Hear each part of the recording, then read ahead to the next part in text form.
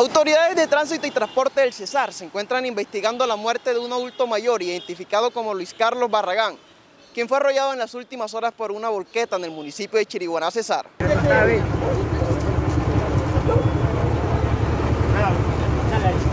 Un adulto mayor perdió la vida en un accidente de tránsito la mañana de este miércoles en la calle Octava con carrera octava del barrio El Carmen en el municipio de Chiriguaná, Cesar. Se trata de Luis Carlos Barragán Beleño, de 87 años, quien según las autoridades se dirigía a pie hacia el comedor de los abuelos y fue arrollado por una volqueta de placas QAK 890 recibiendo trauma cráneoencefálico severo y politraumatismos siendo auxiliado por la comunidad y trasladado al Hospital San Andrés, en donde no aguantó los golpes y falleció. Funcionarios de la Policía de Tránsito y Transporte del Cesar, CETRADECES, llegaron a hacer las investigaciones e inspección técnica al cadáver a fin de trasladarlo a la morgue del Instituto de Ciencias Forenses de Medicina Legal en Bellupar para la necropsia de rigor. Hasta el momento las posibles hipótesis del siniestro vial que manejan las autoridades fue transitar por la calzada por parte del peatón. La comunidad del municipio de Chiriguaná, centro del Cesar, se encuentra entristecida por la muerte de Luis Carlos Barragán Beleño